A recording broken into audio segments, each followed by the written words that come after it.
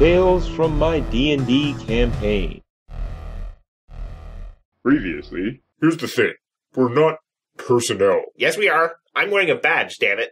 That is uncertain. Hey, controller, where's that ranged bot? Unknown. Guess what? You can't see it? That's the Dark Ancient. Or he's already jumped into something else. You know how it is. Places to be, continents to devastate. He dives through the gap into the armory level bridge at full speed. Mission accomplished, everyone. We've taken down his power supply. Everyone. He's trying to frame us? How dumb do you think the controller is? We have determined that you are not authorized personnel. Oh, god damn it. You think you can repair this thing? Probably. I Elder Mountain Hammer the power source. Raven will fix it later. I didn't think that's what you meant. But at that moment, one of the doors on the north side of the room starts opening. I'm not confident they're peaceful.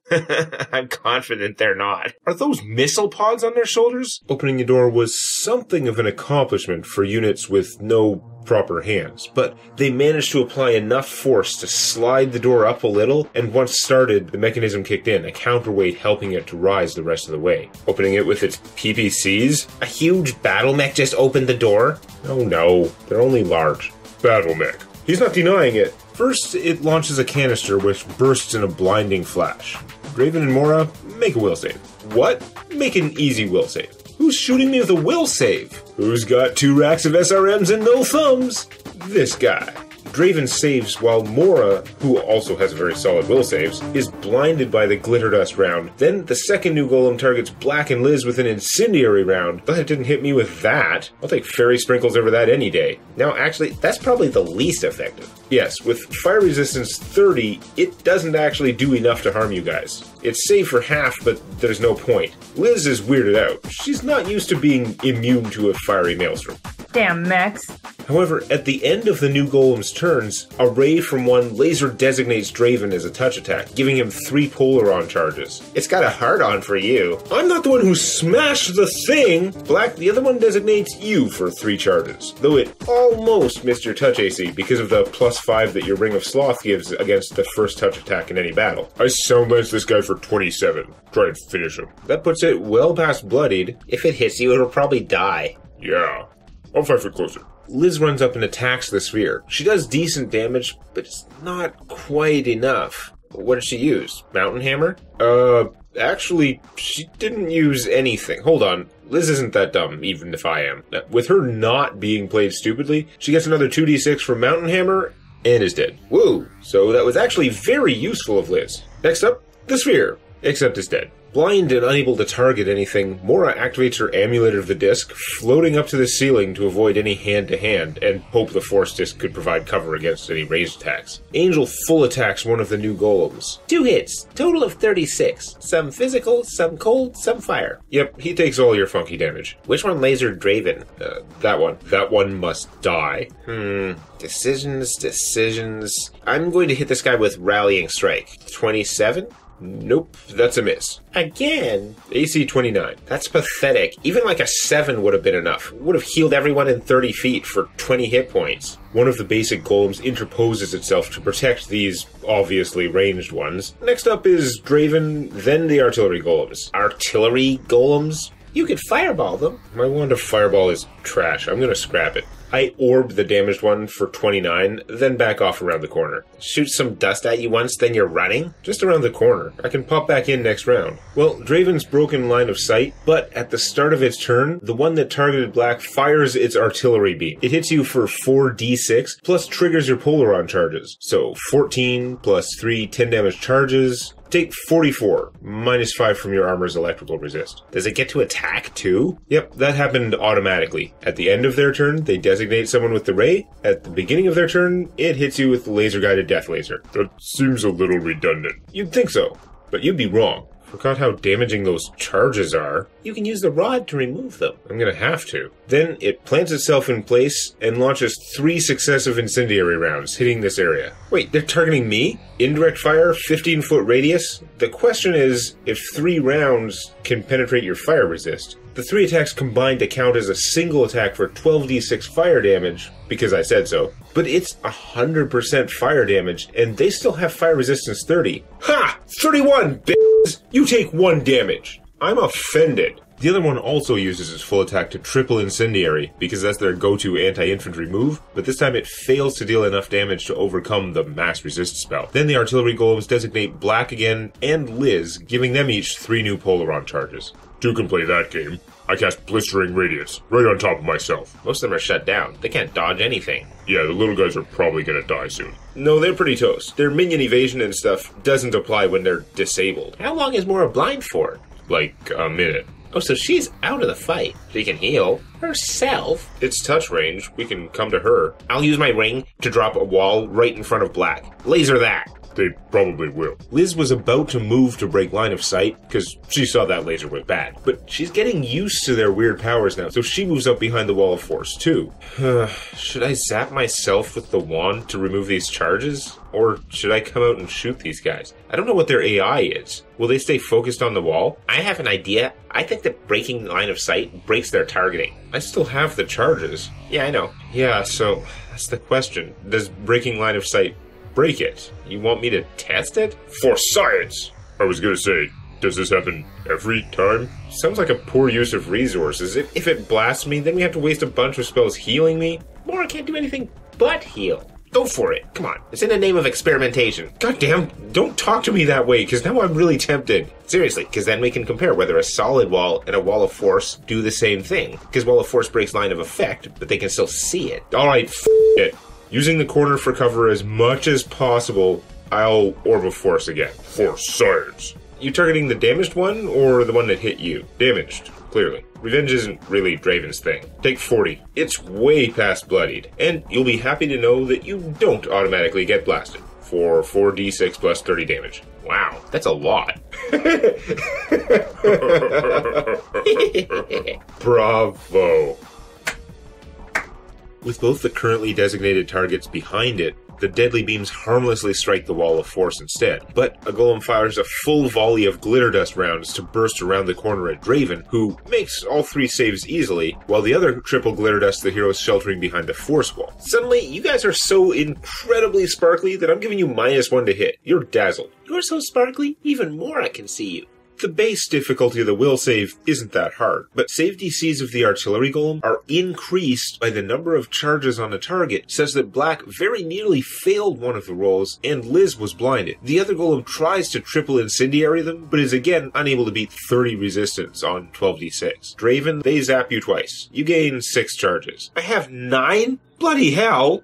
I'm off and wanding myself. The regular golem critically slashes Black for 38, who unleashes all his backlash effects, including the 2 use per day amulet and the ring, which only works on crits, dealing 47 damage back, such that the unit veritably explodes out the back after landing the blow. I need to heal now, but I'm in reach, and my concentration skill isn't good enough to make sure it works. I'd better kill this guy then. But Black falls just short of finishing the damaged artillery golem, so Angel drops from above and shreds what's left of it, causing the golem's death throes to release an incendiary volley harmlessly into the ceiling. Finally, Rallying Strike works, does the same damage as a normal attack, but everyone within 30 feet heals 20. This thing can't be allowed to go again, because I'll take 50 damage plus the 4d6, and I'm at 49. Black wasn't targeted this round. He still has the charges. Yeah, but they both targeted Draven this time, and I have to stay out of line of sight because I take a hundred damage. But if you do, it shouldn't be able to laser anything this round at all, as far as we know. Oh, that's right. Then Black should be okay.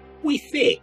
Theoretically. So I should really use the rod to get rid of my nine charges. Hold on, Draven. Before you do anything, you realize your locate creature is giving you a different direction now. Where? The damaged magma sifter on the floor, the one that had skidded in before they got here to block the door from closing, jerks into action, half flying, half skidding back down the hall, looking to jump the low gnome height railing of the enclosed bridge. What? I thought that was destroyed. It was right there the whole time. That's why it showed us that direction. It's pretty beat up, and he had abandoned it when you first entered the room, so it was inert. Since you killed the fire suppression system, he's been playing dead in here, concealing any glow that would tip you off. It's acting at about the same time as Draven, and you get some kind of warning from the locate person, so you can take an action before it gets out of view. Okay, it's okay. Oh, but it's gonna dampen my spell again.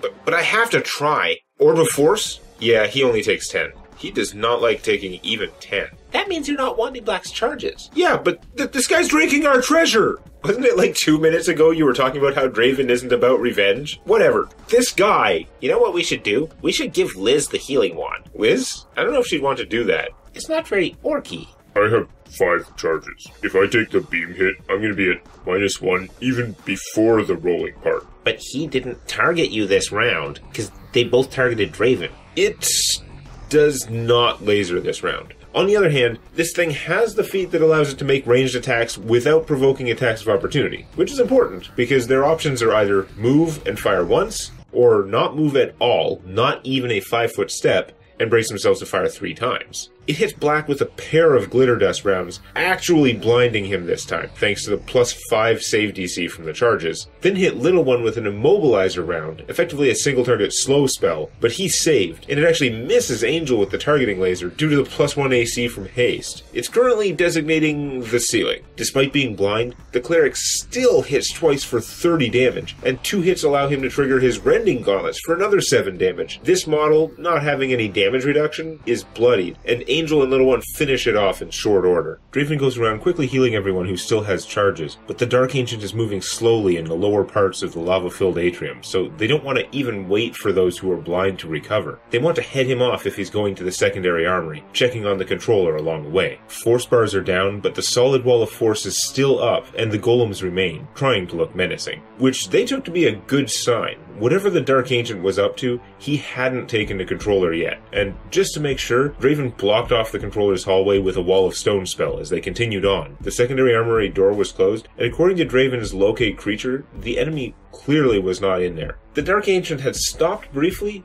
but suddenly it's moving again and much faster. First one way, then it virtually reverses direction, all moving low in the atrium, well below you, possibly in the lava. It sounded like he was teleporting, but for what? If he's going down, he must be heading for the core. I don't know, but if there aren't any more bodies around him, we'll have to lock him down with the dimensional anchor so we can finish him. I have a dagger. I have a scroll. Whatever the case, he was moving pretty fast, but then stopped again, near the center of everything, but much lower down now, as they returned to the huge, heavy door of the core cylinder. I only got a 36 to open it. 36 will do it, since the controller isn't actively hosing you this time. The door opens up to reveal a big round room. Just an empty room, 40 foot diameter. Is Alpha in here? Nope, he's further down. Again, you only get a vector, so you can't really judge the distance, but he's definitely downward and not straight down, like off in this direction. I thought this was the lowest part of the facility. It should be. This was the lowest walkway, and the only thing below this is the cylinder in front of you and the square pool of lava. Start searching around. Search everything. Searching. The controls are fairly well concealed, but Angel easily finds them. They don't seem like door controls. Out of the way. Yep, you're like going down. It appears to be an elevator. What, this whole space? It's all an elevator, and it clearly doesn't go up. The floor of the room begins descending, and after about 30 feet, doors slide in place, closing the shaft off at the top, but it keeps going down. Very poorly lit, with only the emergency lighting. I'll light up my base. Pretty soon, it becomes clear that you are lower than the surface of the lake of lava as you continue to descend the dark cylinder. Emergency power barely sustained. The entity has taken control of the strategic withdrawal unit. What is the strategic withdrawal unit? A unit designed to be used if the controller were in danger of being compromised for a strategic withdrawal. An escape pod?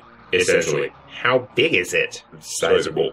My power level's extremely low. If only someone hadn't destroyed that power source. If necessary, units in the secondary armory are able to function independently from facility power.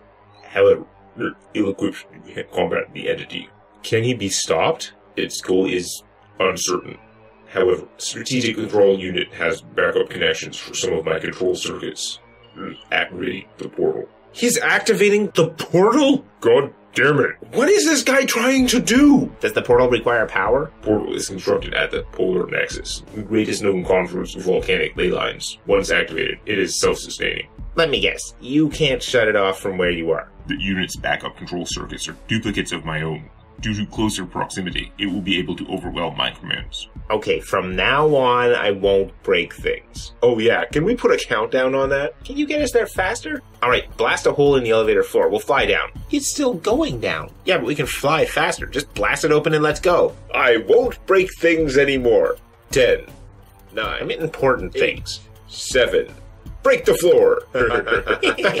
That's hilarious. I'll see if I can make it go faster. Mora will help. They do hotwire it, increasing the speed briefly, but they've already descended almost 300 feet. Any blindness has worn off. They've done all the healing and recast all their medium duration buffs, but at 330 feet below the starting point, automatic braking initiates, slowing it to a stop 350 feet below the last bridge, though the additional speed gives them a bit of a bump. As soon as they glimpse the room, though, they whip out the short duration buffs, like Mora's Haste and Black recasting Fell the Greatest Foe on Angel. 350 feet? How did he get down here so fast? He didn't use the elevator. Dimension door? The strategic withdrawal unit can be launched several directions from its hangar, to the atrium, down to the core, or up to the surface. The room is 50 feet high, 100 feet wide, and pretty damn long.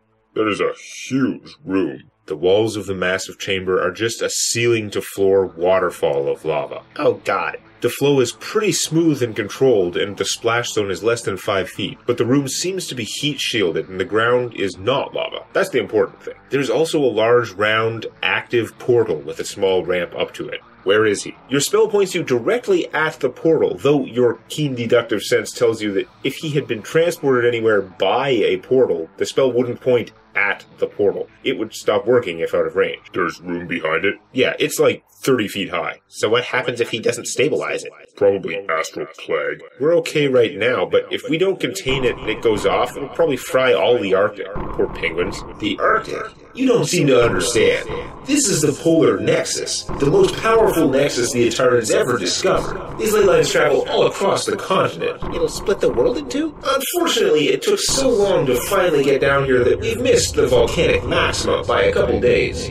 There should still be enough energy to irradiate most of the continent, at least the northern half. Don't worry, guys. He's monologuing. We've got this.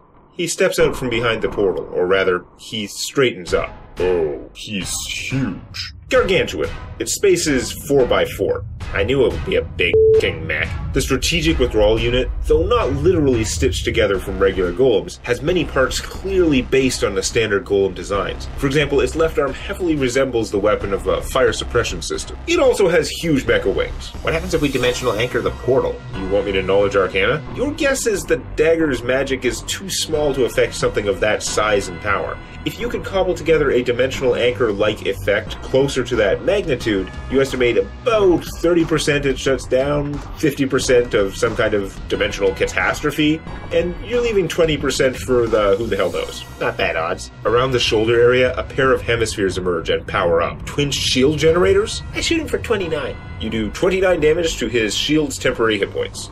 I so wish I had ballista throw prepared to throw him into lava. All you have to do is stand still and concentrate for five straight minutes, change out the maneuver, and then rejoin the fight. We're hasted. I'll searing charge him. I literally turn myself into a spear using the dagger as the tip. You realize he still has a good sized temp HP shield. I don't care about the damage. I want to anchor him. Actually, flying with haste. Shit, I'm so fast. I don't even have to charge. That changes things. I'll disrupting strike him with the dagger, anchor you, and lose all your actions. Though his will save is probably through the roof. Oh yeah, unless his AC is higher than 42, take 9 damage. Well, he saves against your strike. You deal 9 damage, but are still not through the shields, so he is not dimensional anchored. Deflected, the small blade is flung out of your hands, clattering to the stone floor. I'm not to say it's used up, though, because that would be lame. If it didn't activate, then why does it fly away? I'm using it as a weapon. You just went full force into something that didn't give at all, and I don't know. Just seems cool. Okay, next time, I'll searing charge it into him. You did also learn that his shield will have to be down to dagger him. He should get an attack of opportunity, though. Swinging this blade that looks like several of those flatbed haulers stacked end to end, he deals 26 damage to you, plus two Polaron charges. There are the charges. It's more smashing than chopping, really. Yeah, against something its own size, it would be a cutting weapon. It's a little sharpened, but against normal sized enemies, it's really just crushing. Also, as the blade clangs against the metal, you are pretty sure that thing can hit multiple squares at once. Okay, separate, guys. Mora hits him with targeting ray, so everyone gets plus three to hit For this round? for one round per level. Wow.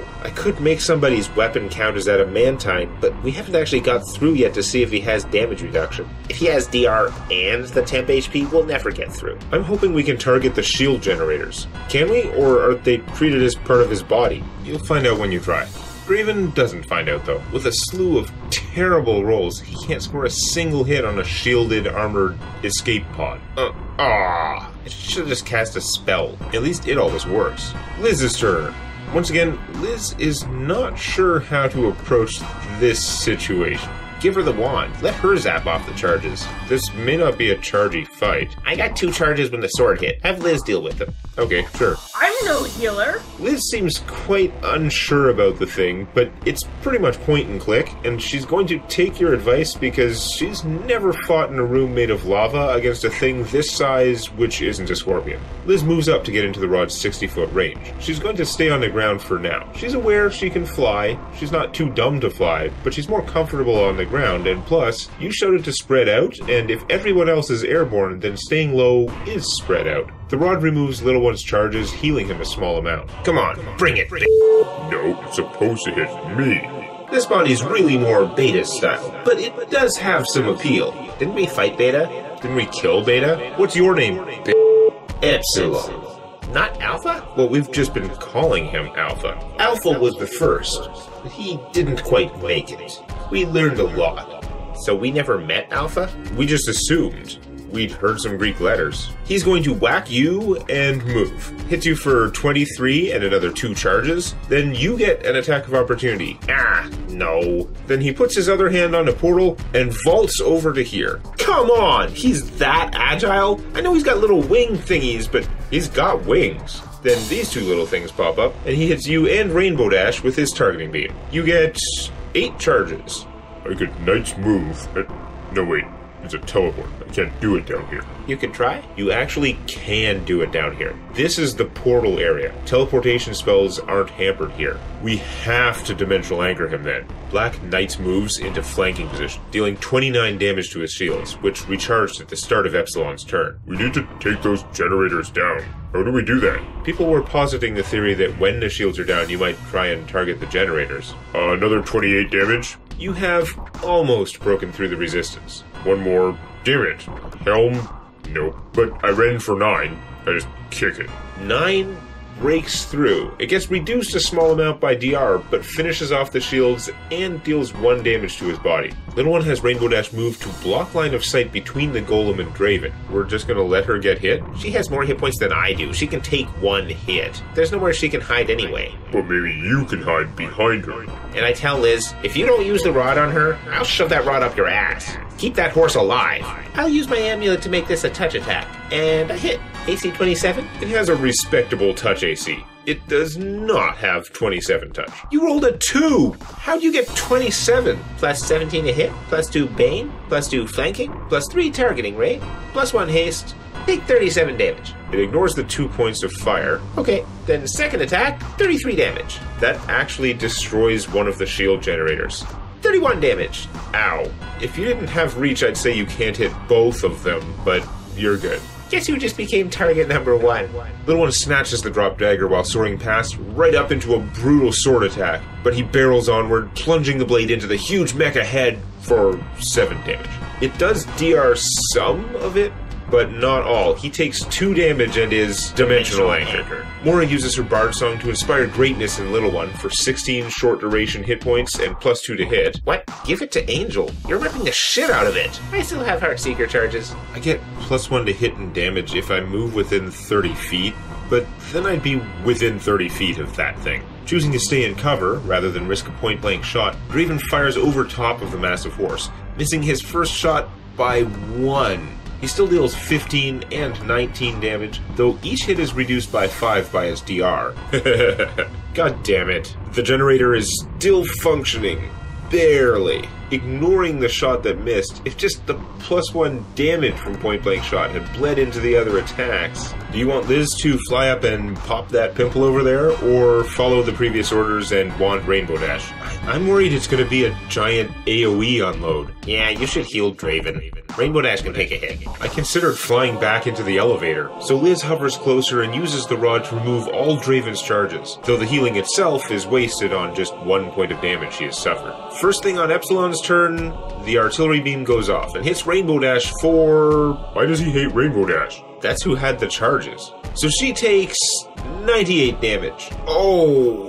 She has 53 hit points left. I would have been at two, and that's because of my plus four con amulet. She has 171 max HP. She's pretty tough. She's got to get out of there now, though. Though if he kills her, not only are we raising her, but I'm gonna his and Epsilon's one remaining shield generator refreshes the shield back up to 30, and he blasts a cone of cold from Angel down to Draven and Rainbow Dash. 40 damage, reflex 18 for half. Does he get a bonus for cover? Uh, Draven can have plus 2 to his save versus Cone of Cold because he's hiding behind a giant Rainbow Dash. Plus 2? That's not much. Better than nothing. 18. Wow, the plus 2 save did it. Cool. And I will remember, finally, to use my Ring of Mystic Defiance to prevent 10 spell damage. Everyone hit by the cone gains one charge, whether you save or not. Feel the wrath. Then he's going to spin around and hit both Little One and Black with one sword swipe. I'm opened up, by the way. Yeah, you're not trying to block it. You want him to hit you. You're just trying to get hit? He hasn't seen the power of Sirius.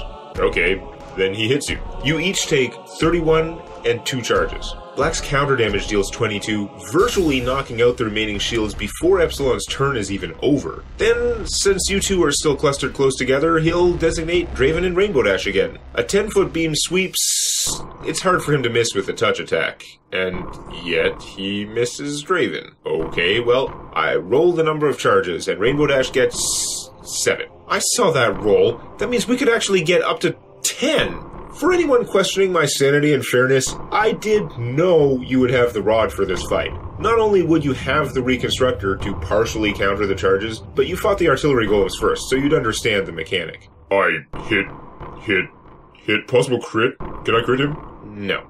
Aw. It'll be nice when we ever get to fight a fleshy creature. You guys should all buy items that let you crit against constructs, since you just fought like all the golems and there probably won't be any for a long time. Black is beating him down and kicks him right in the face. How does it feel to be weaker than Sirius? It's no surprise that you have to compare me to gods. Wait, l- let me rephrase that. Should I, like, Wall of Stone the portal? Jim said it's all staticky looking. It'd probably be a horrible thing to go through. Probably. If he even can while anchored. Rainbow Dash moves in and kicks for a hefty 17. Then Angel ravages it, taking full advantage of the targeting ray, Heartseeker amulet, and the gargantuan damage boost from the Fell the Greatest Foe. Is it bloodied? Yes. But as soon as it hits half health, two new shield generators emerge from its body and instantly refresh a new 60 hit point shield. Morna chips away at the shield while Liz rods Rainbow Dash, removing 8 deadly charges and healing 28 damage in the process. Damn, Max. If he just refreshed the shields out of turn, but he's going to act again soon to refresh them again, Or I got them down to half. yeah, attacking will do nothing. I'm going to adamantine my weapon. That is plus 5 damage when his shields are down. If they're up, it does nothing. Right, but I'm one of the last to act, so the shields should always be down by my turn. Now he's going to artillery beam you, because you have 4 charges from being sorted, and you take 66 damage. Wow!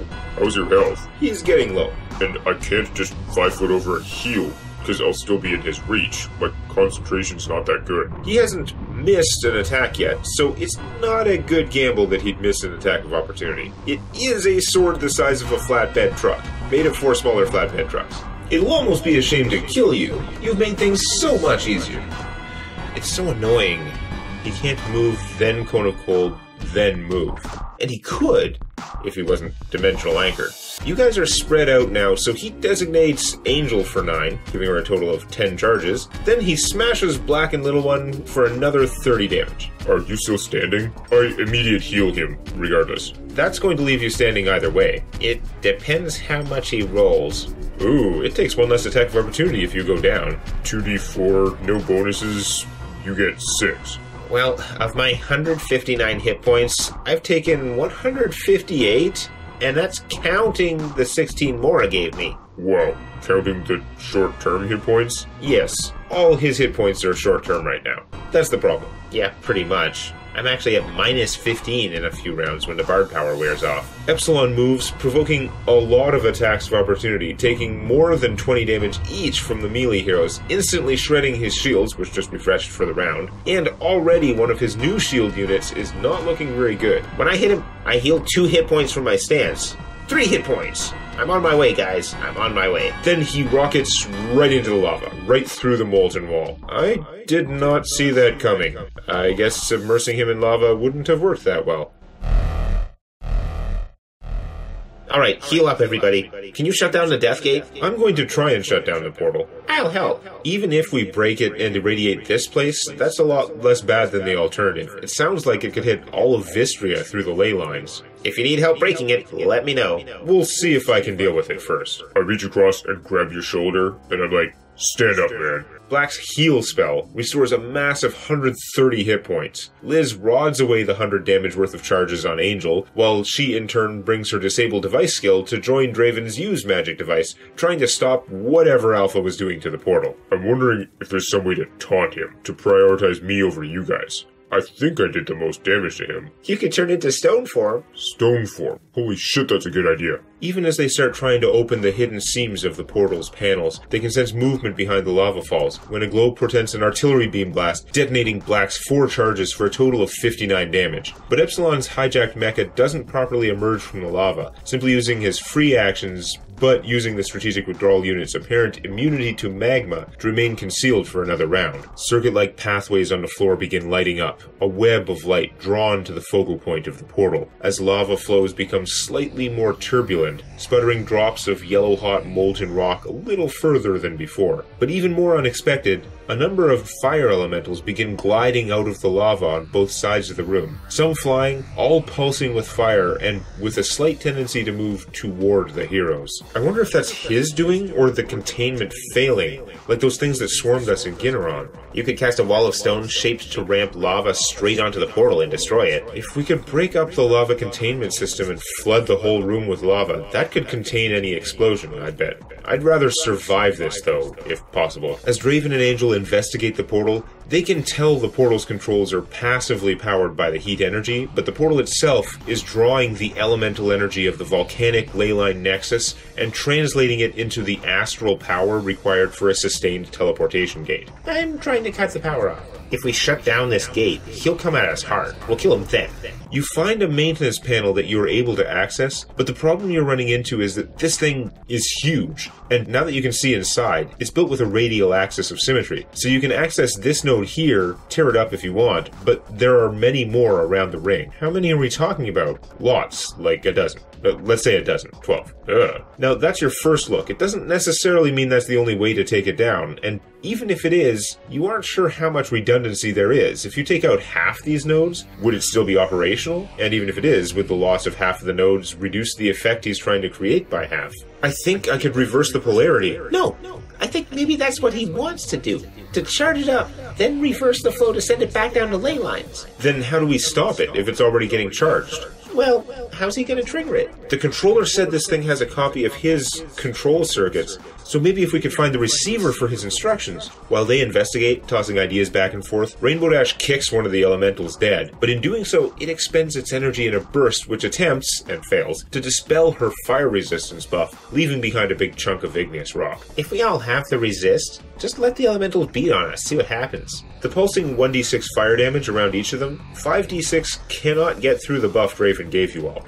even if they stack. Right, so do they even have an attack at all? That's what I mean. Don't attack them, don't kill them. Who gives a shit? Just let them beat on us. That's an interesting take on it. If these things can dispel fire resistance, what happens if we throw one into the lava after him? Hit him with one. If it takes out his resistance, he'd have to get out of there. It kind of depends if his resistance is a spell or not. Yeah. I checked out stone form. It doesn't really give me any extra resistance to fire. Being stone doesn't protect against fire? That's stupid. It protects against some physical damage and a lot of weird stuff. Liz rods Little One, removing the last two charges in the party. Black casts Stone Form anyway, and moves right up to the lava nearest where Draven's spell located the Dark Ancient. As I'm rushing over, you're doomed to fail, because my kin are not afraid to die. Speak for yourself. What can you do standing there? It would be really, really bad if, for example, he grabbed you and pulled you into the lava. Here's the thing. I, I don't understand the mechanism, but he's saying he's threatening to harm at least half the nation, at least half the humans out there. I have to do something. He has basically admitted his goal is genocide. Stone Body doesn't help, but the party's 30 fire resist means the 5d6 damage zone is completely harmless. But stopping in a 10d6 zone right near the cascade of molten rock is likely to do a little damage to him, and actually trying to enter the lava could hurt quite a bit. If he does pull me in, It's gonna be dramatic. that's the thing though. I'm saying he will fail because he has no courage. Humans survive through their children. Hey, who's to say I don't have any? He's pretty chaste. Now. Now? I'll move up beside him, but in the 5d6 zone. I'm stowing my shield and extending my sphere to full length, and I switch stance to Iron Guard Glare, then I ready my action for him coming out. Mora shoots down three of the fire elemental minions, the closest of which was more than 10 feet away, out of his dispelling range. As some of them come in towards the heroes, Angel kills one with an opportunity attack before it can get in range of Draven and Liz, but its death burst does dispel Angel's fire resistance. Is Angel going to take fire damage just from being in the room? No, it appears that the core room is constructed so that heat from the lava is being contained or siphoned off somehow, probably similar to how the bridges are protected. Another fire elemental sneaks in and self destructs, taking out Draven's resistance as well, leaving behind another chunk of black rock. But then one comes right out of the lava falls, failing to purge the resistance from Little One, but rolling well enough to strip it from Black, who takes 42 fire damage from his proximity to lava. Yeah, you might want to back off from the lava now, or you're gonna live up to your name. Well, you guys standing right there is too tempting. You can obviously take your ready to action as he pokes through the wall of molten rock. I'll rallying strike, take 27, and we heal 25 damage. You're at full health now, right? I'm at 1 damage. From one hit point to only one damage. Does he cleave? Technically, no, but he has a sword that can hit four squares. First, anyone without 30 fire resistance takes 9 more damage, radiating off the red hot body of the gargantuan mech. Then he brings down the massive blade to crush Black and Little One. I'll use my shield block maneuver to add another plus 4 to your AC, and he has minus 4 to hit anyone next to me from my stance, so your effective AC would be what, 41? That would make it miss.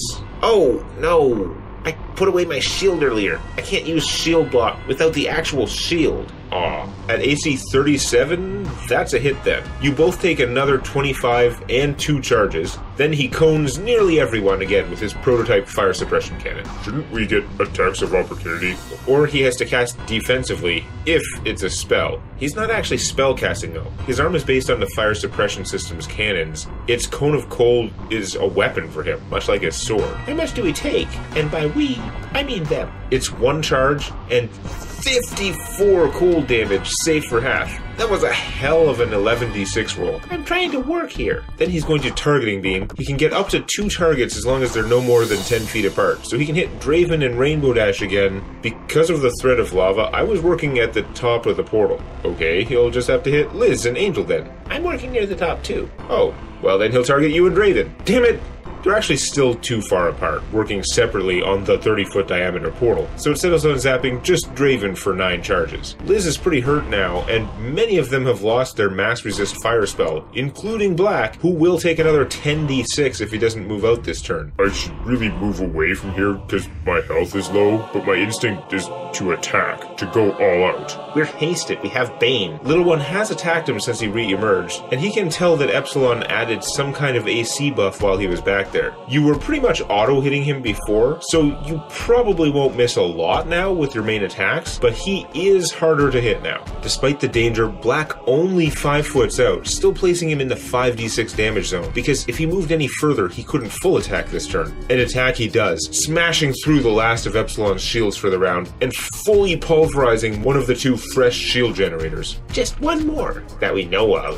One more, unless he has more secret ones to pop out. Gonna pop them out of his ass. Yes, he's gonna go full baboon on you. Rainbow Dash, who still has her fire resistance and flight buffs, charges across the room to kick the mech right in the shield dome for 24 damage. Mora hits two of three shots as well, despite the increased armor class, piling on more damage against the remaining shield generator, and then Little One begins shredding into it, full attacking, not even bothering with his Searing Blade boost against a lava immune golem currently radiating heat back at him. But with the shields down, he just laid into the strategic withdrawal unit, planting his spear deep in the second shield generator and then starting to tear into the mech's structure. As you're shredding it, you start to see black energy coming from some of the wounds. Right, we don't have to kill it, we just have to kill him. Forming an indistinct dark shape around the front, forming red eyes. Dimension door? No dimension door from him. He's trying to hang on, but he's too far gone. Now you die a coward. Take you with me. As the Dark Ancient dissipates, the golem starts glowing white as it propels itself back into the lava. Uh, Liz, heal me. Liz removes your charges. The machine doesn't get any other action this turn, but as time's ticking down, the lava in this area starts glowing white. You're not sure what makes lava glow white, but it probably isn't heat. Though Black does take, ow, 23 damage from your proximity to lava. Uh, whoever has knowledge of magic, try to help me get better timing, because I have one use left on my Ring of Force wall. I can cast actual Wall of Force. I like that plan. Dispel magic. Uh, I only got 16. Doesn't have any effect. I can put up a pretty decent wall. I can cast a 30 foot wide Wall of Force all the way up to the ceiling. I put up my 10 foot wall too, just in case. Then I just hop inside the machine.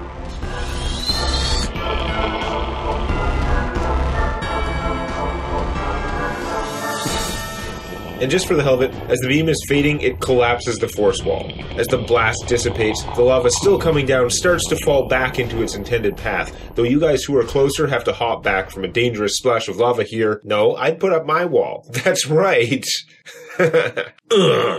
Out of combat now, the main danger has passed, but they still need to make sure that Epsilon's meddling with the portal does not come to fruition. Can the controller hear us down here? Yo, can you shut this down?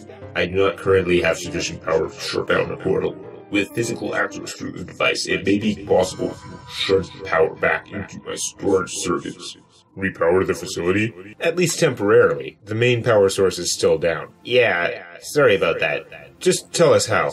They already figured out that reversing the power could send it back down the volcanic ley lines, where Alpha expected to create a harmonic reaction, transmitting the harmful astral energy under the sea all the way to Vistria and Korostrad, if not beyond. But the controller helped guide Angel, Mora, and Draven through the process of grounding some circuits and backing up others which are never intended to handle this amount of energy, and then funneling that power through the control architecture back into the facility's energy reserves. Sure, we do that.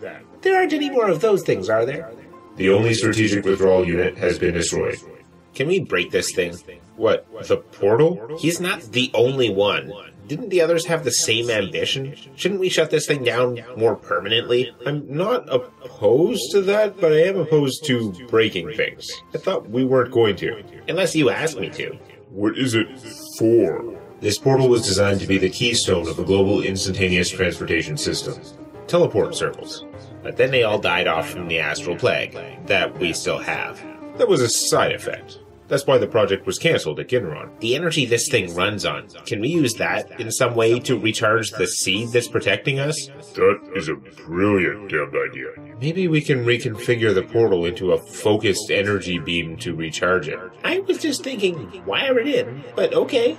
That all will have to wait for more research. As they head back up to the facility, they see groups of constructs leaving the secondary armory, the ones the controller said could function independent of Polaron's power, heading in the direction of the destroyed power source and repair facilities. And they practically stumble over the pair of workers who had been tasked to follow them earlier. I should name this little guy. I need a pet. You had one before. Seven. You might want to upgrade. These guys are the regular kind. They only function in or near Polaron. Those independent ones are way more expensive to produce. Have you seen the cost of the golems in the monster manual? So we can take these guys out of the facility? Those ones work anywhere. I just want to look at that crossbow. Oh, oh yeah. Do you believe us now that we're on your side? Your badges were misappropriated. You are not authorized personnel, and you caused significant damage to Polaron units and equipment. However, some of that damage was in self-defense. Some?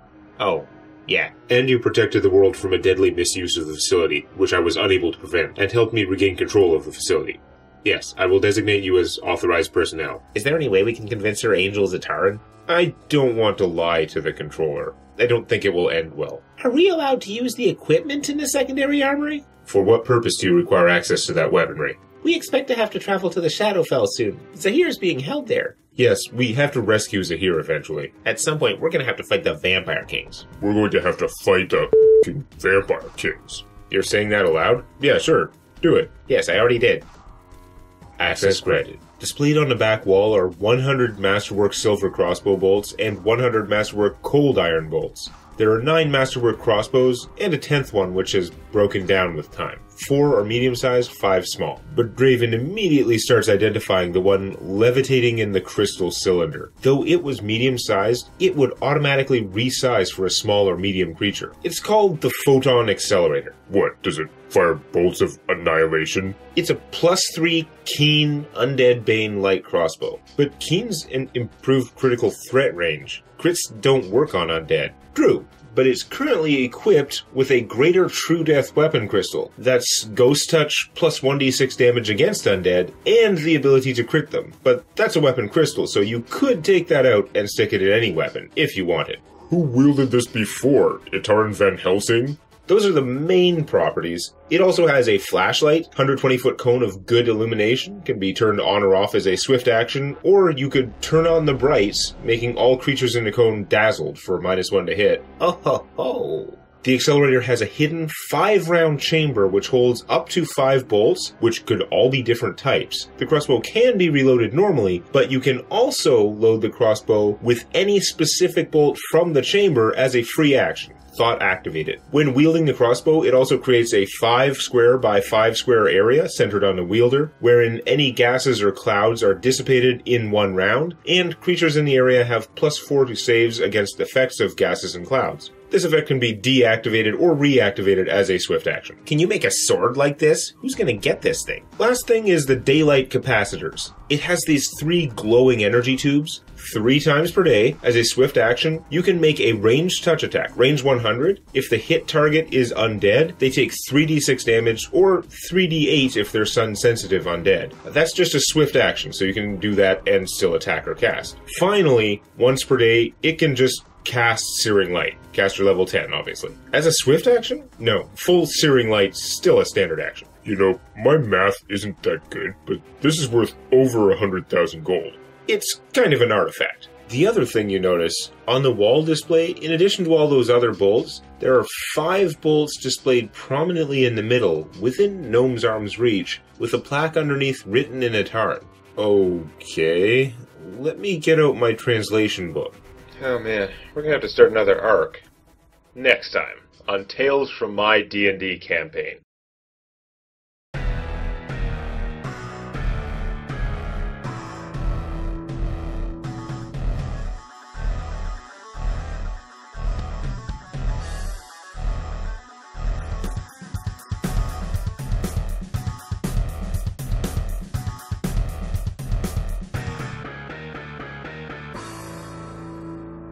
Shove my spear up his ass. I'm gonna shove this dagger of dimensional anchor up his ass. You're gonna impale 11 dimensions of ass. I have a dagger. Dimensional anchor. Dimensional anchor dagger. I have a scroll, dimensional anchor, uh, dimensional anchor scroll. Dimensional anchor scroll, dimensional anchor dagger, dimensional anchor dagger scroll.